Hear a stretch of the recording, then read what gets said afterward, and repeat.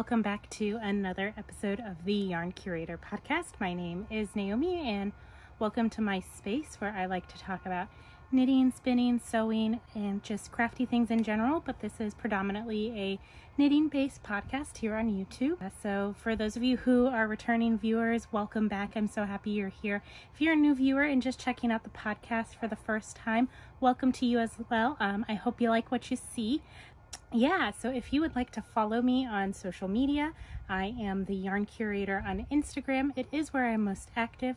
I am also House of Cardigans on Ravelry, and then I do have a website, theyarncurator.com. It's where I mostly post show notes, things along those lines, uh, maybe some extra photos that don't make it into the podcast. If you like what you've seen so far, feel free to go ahead and subscribe, hit the thumbs up so you can stay up to date with the podcast. So welcome back everyone. I'm so happy you're here. It's been a while. I think the last time I sat down and formed a full podcast episode was the beginning of November, right before I left for my friend Amelia's wedding, uh, which was in Austin, Texas. I've been doing some little smaller other videos in between, but I haven't sat down and done the full shebang in a while. So if I'm a little rusty or out of practice, I apologize. I've sat down to film this like three times now. I've been like, oh yeah, I forgot to put that in my basket. And um, so yeah, I have a basket full of goodies to talk about with you guys. I gotta finish some finished objects, um, some acquisitions, works in progress, things along those lines. We will jump right in and I'll save kind of some of the chattery bit for the end excuse me, while it might be finally winter here in Florida, it does not mean it is not hot still. So I have water, and because I'm a glutton for punishment, I also have a cup of tea in one of my favorite mugs. It says I'd rather be hiking. It's from Rocky Mountain National Park. I used to live um, about two miles outside of the park, not the main entrance, but the wilderness portion where you're not allowed to take like heavy machinery. So it's a couple it was like 20 miles away from the main entrance. Anyways, one of my coworkers went to Rocky for the first time last summer and I watched her cat for her and she brought this mug back as a thank you present and it's like my favorite coffee mug in the house because it holds a redonkulously large amount of liquid and it retains heat really well so that combination is always a winning one in my book. But inside my mug, I am drinking some Yorkshire tea, their biscuit blend. I am lucky enough to live about two miles down the road now from a British import store, so I popped in there a couple weekends ago and saw this on the shelf, and it's delicious. I should have also bought some Tim Tams to go with it. Um, I am coming to you guys this week from a new location. This is my front yard, kind of. The view, if you're sitting in our living room and looking out, is what you're seeing behind me. So I might pause randomly and I'll edit those out if my neighbors walk by and look at me like I'm a crazy person talking to a tripod in their front yard. Today is Saturday, November 30th. I had originally planned to podcast Wednesday, the day before Thanksgiving of this week, um, but I'll just be real with you guys and I don't feel like, or I'll talk real life with you guys sometimes I get hit really hard with our monthly courses and um, the pain can be really intense. And so like I was actually, before my husband came home from work and he brought me some lunch, I was actually shaking from the pain um, and I didn't feel like a normal functioning human being till about five o'clock that afternoon. So uh, making myself look a not like death uh, because I very much looked like someone who was pale and in pain. Um, just wasn't going to happen. but I feel good today. I've weaned myself off of the steady stream of ibuprofen that I've been popping like candy for the last three-ish days. So yeah, we're all good to go. So we'll jump right in, you guys, with finished objects. The first one to start, so uh, if you've been here before, you'll know I've been knitting a sample for my local yarn shop called Stash a Place for Yarn. They're located in St. Petersburg, Florida. Um, and they asked me to knit a sample for them. So I finished this. I cast it off on Thanksgiving Day. I still need to weave in my ends, but otherwise it is complete. So this is the Volan Sod Shawl. It's a pattern by Heidi Alander and I knit this out of Manos del Uruguay in their Fino base. It's a wool silk blend And yeah, it's this, this is not a color I would normally pick out for myself, but it's this really pretty golden brown with kind of a green undertone to it. And yeah, it's pretty simple. You do a garter tab cast on, you increase in this kind of shallow crescent shape, and then when it's the size you want, you start doing this lace border at the bottom and then cast off. Let me tell y'all, I probably could have had this finished two, three weeks ago, except I made a monumental error. Do not make this mistake as me. Do not knit in an airport at five in the morning on three hours worth of sleep. Because when you do that, when trying to knit lace, you make a giant faff of it and have to tink back. After, so I took this as my travel knitting to Texas with me and um, my friend Amelia had her wedding. It was an evening wedding and I did not get back to my in-laws house where I was staying with them till about 12:30, 1 in the morning because the wedding went to it went late. I believe it was 11, 11:30 when I was leaving the venue and then they lived about an hour north of where the venue was. So anyways, I got there. I had a red-eye flight out of Austin at I don't know, 7 in the morning. It was something like that. So yeah, I only got about three hours worth of sleep because I went to bed around one after I finished packing up my suitcase and everything. And then my mother-in-law came and woke me up around four in the morning. So we could get to the airport with about two hours to spare. Was probably not necessary, but it's fine. Better safe than star sorry. So I was just starting this lace portion when I got to the airport. Don't do lace on three hours worth of sleep. I read the chart wrong and so the laces worked using a series of two decreases and two yarn overs as you work across in the pattern. I worked two decreases and only one yarn over per decrease, so my stitch count was off. So I tinked it all the way back, reknit this lace portion, and I had started the second section when I realized a few days later that I had missed a lace row. And here there's three, it's a six row lace pattern. So, you know, you knit a row of lace, then you purl back, then you knit a row of lace, then you purl back, then you knit a row of lace and purl back. I had missed that last one and moved on to this second part of the repeat in the pattern. And I'll be honest with you guys, if I was just knitting this for myself, I would have just left it and lived with it. But since I'm doing it for the shop and as a sample for them, I was like, all right, I have to rip this sucker back. And so I was debating if I wanted to try and rip back to right around here so I could work that last lace repeat. Ultimately, I decided it would just be better or easier to throw in a lifeline and rip back kind of around this area because since I had messed up this first lace row and tinked, it was a little wonky. I wasn't too sure if I had actually still worked it right with the rework.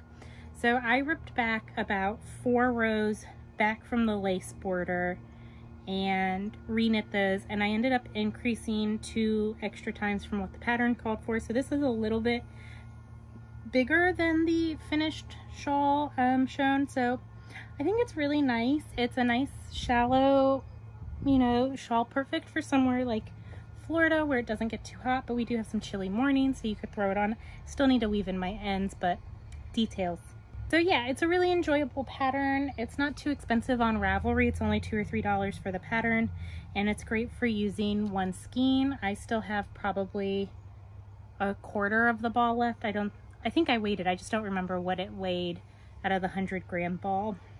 One finished object, done. Hooray! I was gonna drop this off today and check out their small business Saturday sale that they're having, but quite frankly, I don't feel like dealing with the traffic and the crowds of kind of Black Friday weekend. And I know I'm going to go there Tuesday for midnight. And if something catches my eye at the yarn store, I will just buy it then at full price. I don't need it on sale. So that is it for finished knitting objects. I'm going to talk real quick spinning. I won't spend too long on this next one. So next up, I do have one finished thing of hand spun. So if you watched a couple videos back when I did a little spin along, this is the fiber that I was spinning if you want to hear more about it in depth. Uh, for those of you who didn't watch this though, this is yarn or fiber from a company called A Sheep at the Wheel. It's one of the local yarn stores I visited when I was in Austin and I've named the colorway Sunshine State of Mind after Florida. It reminds me um, kind of of Florida sunsets here. And this is knit to go in a fade from that tangerine into the raspberry raspberry kind of sherbet color. Um, so yeah, I'm really pleased with that. I think it turned out absolutely gorgeous and it's about 13 wraps per inch. It's DK weight and around 135 yards. It is a 50 gram skein. This is 100% Corriedale it's a little bit of a toothier yarn but I don't say that in a negative way. It's just like a crispy crunchy but still really soft. And yeah it should have some nice spring and bounce to it. I think it would make either a really cute might not be enough for a hat on its own, but if you knit your brim out of something else and then you could make the main body of the hat out of this or, you know, a shallow cowl or a pair of mitts would be really nice. Although that might be harder with the ombre to get a pair of mittens. So yeah, or even just, you know, mixing it into a project or a scrappy project. Um, but I'm really pleased with the way this came out and I've really been feeling spinning lately. I've been feeling like my knitting mojo has been a little bit low. I've been really struggling to find the motivation to work on projects and I'll talk more about that at the end and why I think that's the case. I'm sorry if I'm squinting as well. The sun's coming in right from here, but it makes for good light. I'm gonna wait for my neighbor to drive by. So I don't have much in terms of WIPs to show you guys. Most of my attention has kind of gone towards one project, but I have made some good progress on a couple other ones that you've uh, seen before. Nothing I'm going to show you is new or a new cast on, but living in my fringe bag is the project that's getting most of my attention right now, and that is the test knit I'm doing for Lisa Ross, who is Paper Daisy Creations. It, the pattern itself is called Fade into Advent, and uh, she released it mid-November, so it is out if you want to, to go ahead and purchase it. But our test is due December 15th. So the last time we talked, I was down around here. Um, and so, yeah, it's growing. I've worked one repeat of this slip-stitched chevron. I've messed up somewhere in that repeat. I'm not sure where, um, but my stitch count was off on one side from the other side. So I'm not sure if I missed an increase or missed a decrease on a row, or maybe I accidentally decreased on one side of the shawl where I shouldn't have. So I've kind of fudged it and I think it looks okay. And because of that, I think I'm a little off from where the pattern says you should be switching your colors. I'm not going to stress it because it's for me, I'm not gifting it to anyone.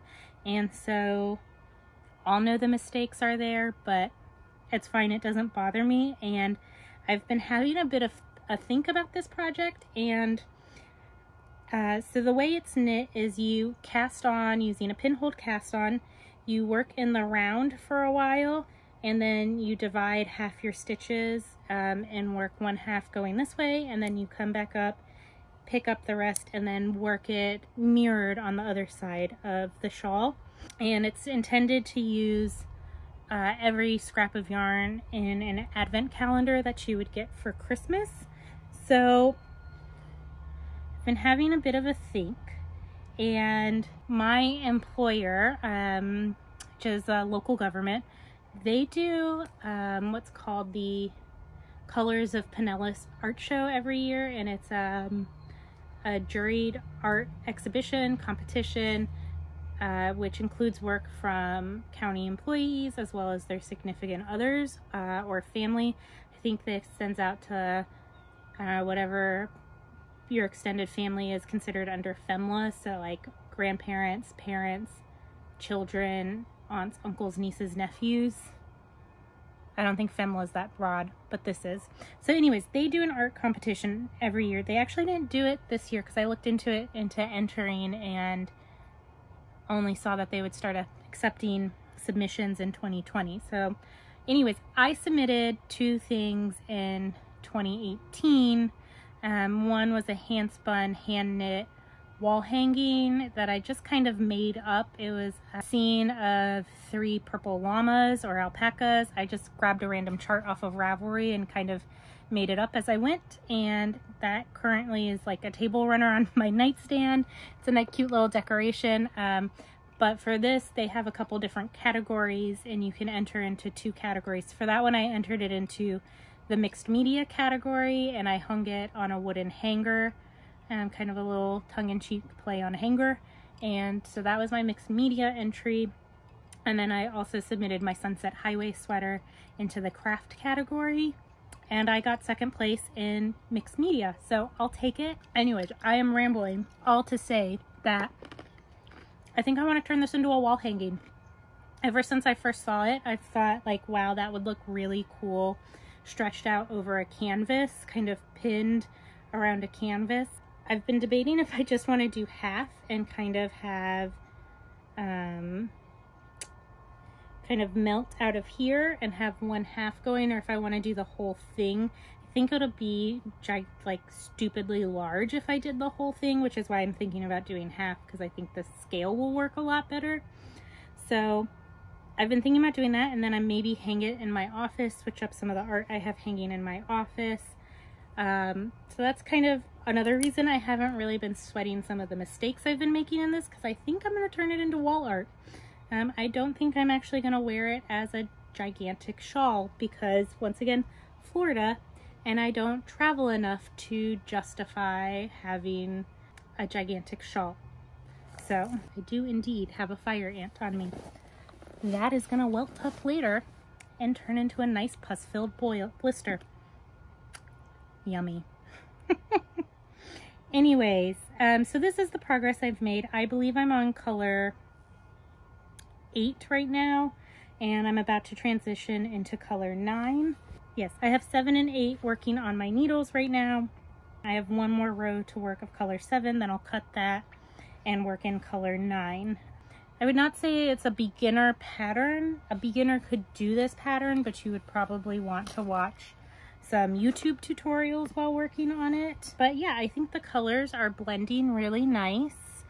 I'll hold that up.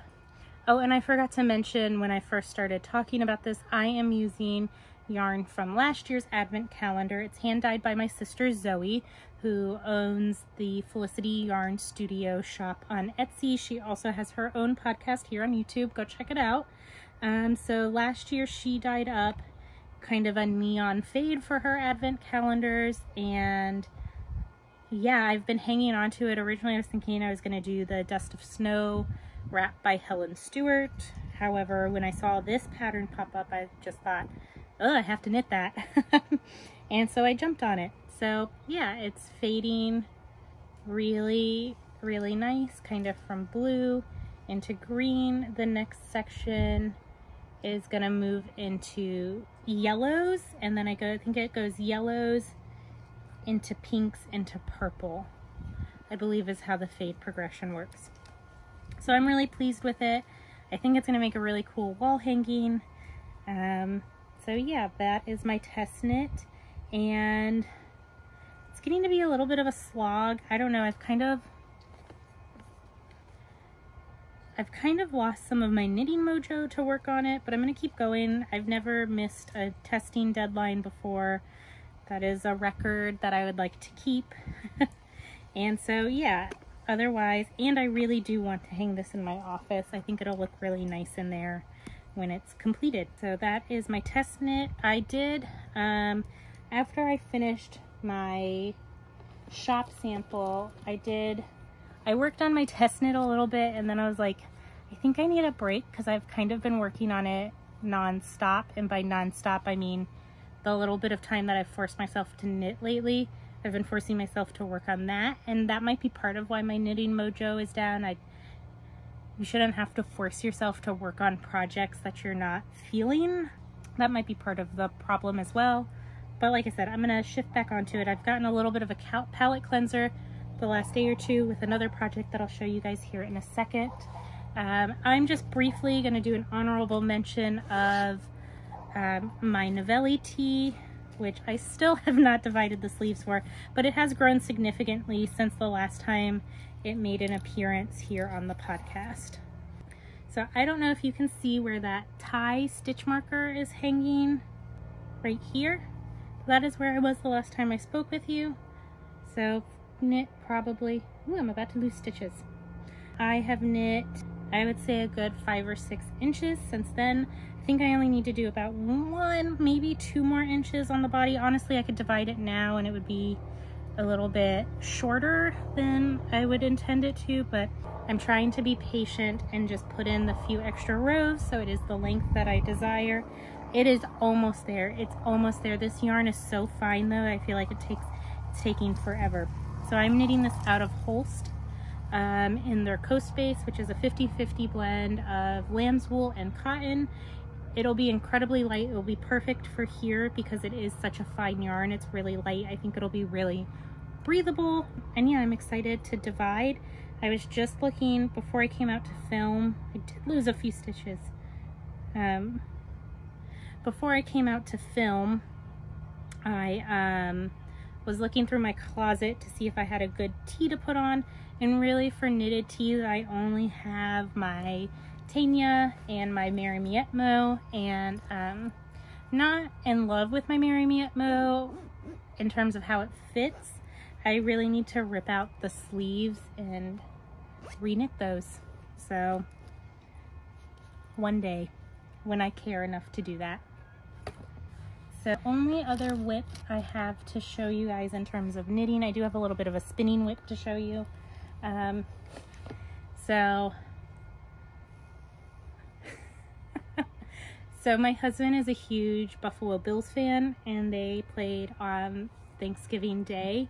And so we were sitting down in the first quarter and I was working on my test knit, the Fade into Advent, and um, they were playing the Cowboys, which is like a huge rival. Apparently the Cowboys beat them like four Super Bowls in a row in the 90s and this was a tragic thing for my husband being a Buffalo Bills fan living in Corpus Christi, Texas at the time. And so he looked at me and he was like, baby, you're to have to knit something else because that's bringing bad juju to this game. And that was mostly a joke. And, but I wasn't feeling that anyways. And I was like, maybe it's a sign I should switch. So I picked back up my Flax Light, which is a pattern by Tin Can Knits. And I am so happy I did. It has done everything for my knitting mojo. I haven't stopped working on it since Thanksgiving. When I picked it up, I hadn't yet divided my sleeves. So I was still, let's see, I was right around here um, Thanksgiving Day. And then I've worked on this yesterday. I divided my sleeves off in the morning. We did go out and brave a little bit of the Black Friday crowds. We like to check out Lowe's and Home Depot for what they have, you know, in terms of things we can pick up for the house here. Last year we got a grill. This year nothing really struck our fancy. I came home with plants. That's what we came home with was plants not on sale. But I got a, a new Christmas cactus that's white. I'm really excited about that. And then we got a tropical fern, which is, or not a tropical fern, a tropical pine tree. It's actually not a genus of the pine family, but it's really cute and it's a sustainable Christmas tree. You keep it as an indoor house plant throughout the year, so I'm excited. Um, it's our forever Christmas tree. So anyways, I was, yeah, up above, just a little bit above the sleeves before we last spoke. So I divided those off and then I started working in my second color. So if you've watched before, you'll know I'm knitting this as a fade. Uh, the color on top here is by Woolen & Boon and her Boon sock base in the Ambrosia Salad colorway. On the bottom is Qing Fiber and it's in her MCN base and I believe the colorway is called Smudge. It's absolutely gorgeous. And then the third color will fade into La Bien-Aimée, the Peach Pon Pon base, uh, which is I think a 75-25 blend. But I'm really excited. So this is where I started blending in my colors. I worked that for about two, three inches. And then now I am working this third section of the body. It's really nice to see it out in the natural light because I've just been seeing it in the house so far and I think it fades really well. So we'll start at the top there and then work our way up. So yeah, I'm really pleased with how it's turning out. I was, before I came out to film, having a little bit of a debate if I want to go ahead and start blending in the La Bien Aimee and just work a really long fade of that with the Qing fiber. That way it looks a little more natural. I think I'm going to knit a little bit more of the Qing. So I started working on its own. I believe that little bit of green right there is the last of the ambrosia salad. So I think I'm going to knit about one more inch and then I'll probably start fading it in. The way I worked my fade is I didn't really follow a pattern or any rhyme or reason. I think fades work best when you work them randomly. So I started it by doing, I did one row of the Qing, then one row of the Woolen Boon, and then I think I did two rows of Woolen Boon, then one row of Qing, then another row, and I just kind of made it up as I went, two, one, um, there were a few times I did three rows of one color, that way, you know, it really looks like it's blending together and it doesn't look like stripes. I feel like sometimes when uh, designers do fades, it looks really stripy, and so I didn't want that effect. So I just went for something a little bit more random, and then um, I could have kept going with the woolen boon, but I used a little over 80 grams for this top portion of the body so I wanted to make sure I still had some for the sleeves. So what I'm going to do I believe it's right around 20 grams that I have left in that ball. So what I'm going to do is I'll recake the ball and then I'll divide it in half and then I will just use 10 grams for each sleeve and whatever is left is left. I am going to do three quarter length sleeves on this because that's what I prefer and I'm not sure if I'm going to carry this garter stitch detail on the sleeves down them I don't know if that'll look funny ending right there or if it'll look funny ending right here. So if you have an opinion, drop it down below. Let me know what you think. But yeah, I'm really pleased with the way this is knitting up. I could not be happier. I stayed up till past midnight last night working on this. I just did not want to put it down. And this is what I've done literally in like six or seven hours. It's just been exactly what I needed. Uh, dividing the sleeves and then just going on to Body Island. It's like coming home to an old friend. You know what I mean? It's comfortable, it's familiar. The weight of the yarn just felt perfect in my hands. And so, yeah, I just, I'm really pleased. And I'm like living for uh, some of these pops of speckled colors in here. I don't know if you can see that blue right there gorgeous. It's gorgeous. And I could not be happier. I could not be happier with this. That is what's kind of stolen my love. I think what I'm going to do is continue to knit on that today. And then uh, I work Sunday through Thursdays. So Sunday through Thursday this week, I'm going to go back to the test knit. And then I will save that for my weekend treat. And I'm really pleased with it. Really pleased with how it turned out. That is it for my knitting WIPs. I do have one spinning WIP to talk to you guys about. And once again, if you watched my 20 questions video, um, which I got tagged in by Tammi of Twisted Stitches, you will have seen me working on spinning up a little bit of this braid. But I finished spinning both halves of my braid. So it was by uh, Malabrigo and their Nube, which is their dyed roving. And I believe the colorway is called Baya Electrica. So that is what that looks like. I'm really pleased. I think I did pretty even singles. Oh, hang on. So yeah, that is what that looks like. I'll wrap it around my finger so you can get an idea of how thin it is. So this fiber, when I was spinning it, it was a little bit compact and a little bit felted. I think it was a little old, had sat in storage for a while, and getting these intense colors, they probably used a slightly higher heat. So when I initially started spinning it, it was kind of a pain in the arse to draft. And so what I did was I uh, folded in half lengthwise and divided my braid in half. And then I took each half and I stripped it down to 16 to 20 really thin strips of fiber and that made drafting a lot easier. It also meant that I got a really fine single out of it.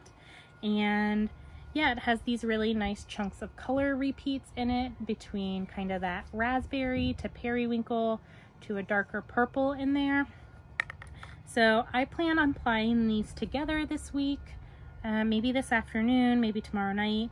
And I do think I'm going to make another video of that plying process. I think I'm going to make a little how-to on how I ply um, because my sister Zoe is just learning how to spin and I know she's watched some videos and plied some yarn herself. I think I do it a little bit differently from what I've seen on the internet and what I've seen you know, the little bit that she sent me in video or I've watched of her videos of her plying. So I am going to make that for her primarily, but if it benefits anyone else, hopefully it will be of use. And so, yeah, stay tuned for that, but I'm excited for these. I I finished spinning this and then I have, I have a few other similar kind of pink, purple uh, caches of fiber in my collection right now. So I really want to do a hand spun Vertices Unite. I think that'll be really pretty and so I think it'll be a great way to use up hand spun as well even if every section doesn't follow Stephen's pattern exactly. You know, I might need more hand spun, individual hand spun skeins than that pattern calls for because of yardage but I think it'll be a great way to use up hand spun and since I've been doing a lot of fingering weights I think it'll be good. So I'm really looking forward to that and yeah that's kind of what I've been spinning in mind with a few of my spins lately. That is it for works in progress knitting and spinning related.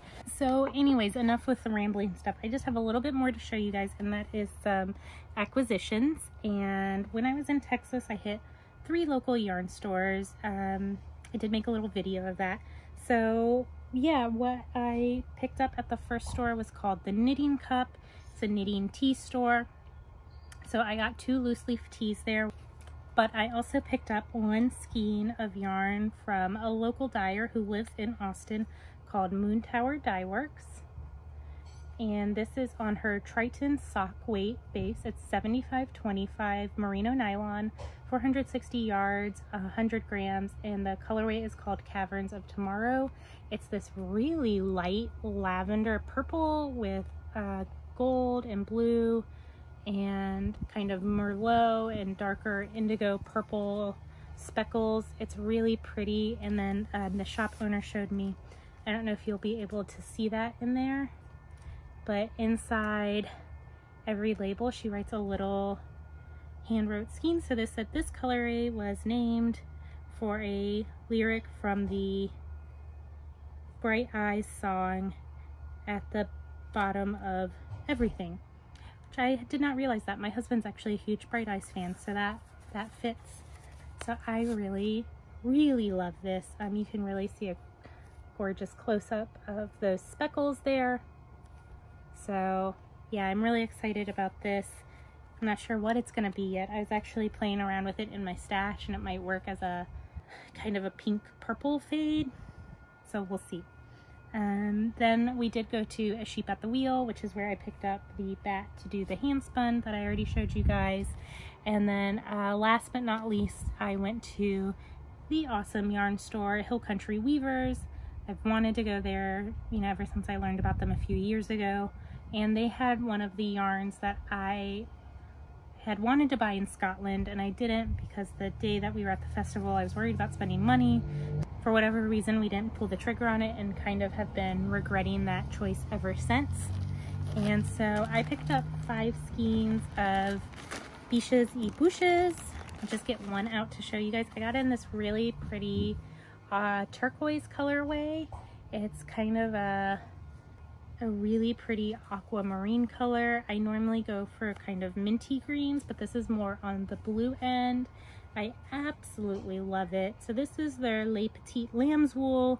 It's a 50 gram ball, 270 yards, And yeah, in the turquoise colorway. So I got five skeins of this. I have agreed to do another test knit starting in the new year for Amy, who is the Little, Little Tailoress podcast on YouTube. Um, and she also does some pattern designing. So she has a new sweater coming out that I saw um, that I think this will be perfect for. But I love it. And when I saw it, I had to get it. And yeah, it's really reasonably priced. It's only $12.75 um, a skein. So, you know, not bad for a sweaters quantity. The day of the wedding, we were all hanging out at Amelia's house getting ready. Like I said, the wedding wasn't until 6 and they had everyone arriving at their house around 10 that morning. So I left my in-laws in a little bit of a frazzle because I had to pick up the donuts, which was what they had in, instead of a cake. So I needed to pick up the donuts. In the process of focusing on getting the donuts, I left my knitting at my in-laws house. So I went back to Hill Country Weavers and I was like, you know what, we're gonna have like six hours where we're hanging around the house waiting for everything to take place. So I was like, let me just go ahead and buy a project to work on there. And I had said I wanted to knit something for my mother-in-law for, you know, being so generous with her time and helping me out with everything prior to the wedding. So I picked up another ball of Biches and Bûches to make her a hat and then never cast it on. So this is what it looks like. It is in this really pretty heathered green base. Um, I think it'll look really nice on her. I think it'll look really pretty with her eye color. So yeah, I am planning on either knitting the the diode hat, um, which is this really cute bobbled hat um, out of this, or probably something by Tin Can Knits. I've knit their antler hat before, but that's a, worsted bulky weight. And this is more of a fingering, so I need to do a little bit of a search, but I've keep coming back to the diode hat, so I think that's what I'm going to make her out of this. On to kind of life. It's been a really weird month for me because I have been in and out of my office so much. So at the end of October, I flew out for SAFF. Then I came back and like two weeks later, I flew out for Amelia's wedding. And then there was the holiday weekend and now there's Thanksgiving. So I have worked like one full week in November, which has been awesome. But at the same time, like my schedule feels really off. I don't feel like I'm in my normal routine and I've been out of my routine for like a month now. So I think that's part of what's been throwing me off. And then also with all the traveling and the events and things along those lines, um, I don't know if any of you guys watch the Earthtones Girl podcast. Uh, but her most recent one titled Quiet kind of talks about being an introvert in an extroverted world and how um, being an introvert and going to events like hers was Rhinebeck, but going to events like festivals or things along those lines can really drain you if you're an introverted person. And she just, like, watching her podcast made me go, like, oh, that is probably part of why I feel off. Um, two weekends ago, Gigi of GG Made It came down to Florida. She did an event at Four Purls, which is a yarn shop in the Winter Haven area. It's about two hours from where I live. And I was gung ho ready to go to that. And like, like I was in the car. I was gonna film a little vlog of going there, but it was the weekend after the wedding. And I got in my car and I was like, I can't do it. I'm too tired. I am exhausted. I just want to stay home. Just like I need like some quiet downtime because it had just been like SAFF, work, wedding, work, you know, and it was was drained and you know in her podcast she talks about you have to be as an introvert you have to be okay saying no to well, this was particularly with the holidays, to that holiday party or saying no to obligations or saying, you know, you just have to be okay taking a step back. And so I was in my car, I was leaving, and I texted my husband and I was like, I think I'm to stay home, but I'm to run and grab us some lunch. So I went and got us some Cuban sandwiches. That's when I stopped in the London import store, which is next to a really good Italian deli. So I picked us up some cannolis, some, they make a really good Cuban sandwich there, and just came home and had a quiet day. And it was just what I needed to kind of reset and recharge. And yeah, self care is important, you guys. Take care of yourself, take care of your mental state, as well as your physical health. Yeah, that podcast really struck a chord with me. And if you're willing to sit through the 20, 30 minutes or so of her talking about, you know, being an introvert and taking care of yourself and realizing that, you know, you don't have to be on go all the time you know, it, it was really like, oh, maybe that is why I'm so tired and why I'm so exhausted and a little bit moody when people try and approach me and talk to me at work. It's because I just spent, you know, three days at a fiber festival with my mom and my sister the whole time. And I love spending time with them, don't get me wrong. It's just, you know, there was no alone time, you know, and then you jump back into work and then you know, at the wedding, I spent time with my in laws because I felt like while I was with them, I needed to, you know, enjoy quality time with them. And then it would jump into a wedding event where there'd be 20, 30 people. Um, and, you know, feeling like you need to catch up with these friends you haven't seen in literally a decade, some of them. So, yeah, I just came back really drained. And after watching her podcast, it really validated that decision to stay home and not go to Four Purls so yeah, that's that. I, I just went back to knit, knit night at my local yarn store for the first time in like a month and a half because it's been so busy. So that was really nice to sit and just socialize with a group of people, talk about knitting, all of that good stuff. Yeah, that's kind of what's going on. I'm not going to talk about work too much other than to say we have been in uh, full on Christmas decorating mode and transitioning out of hurricane season. So every year at the start of hurricane season, we put these hurricane shutters on all of our houses. They stay up through the summer because uh, it's a two day process to hang the shutters and we have to rent a mechanical lift to get the shutters on second story windows. And so it's part of our hurricane plan and there's other things that we have to do when we're actually under a watch or a warning.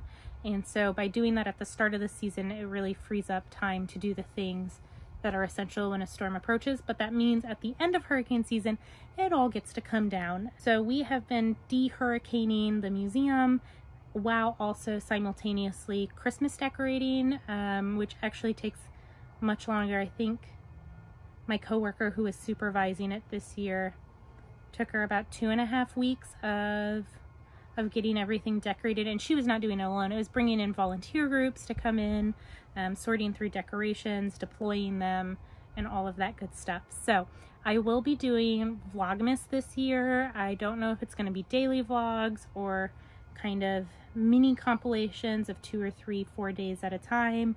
Haven't really figured it out yet. We'll see how much of a burden it becomes, but you guys will be seeing some shots of the museum all gussied up in its Christmas decorations.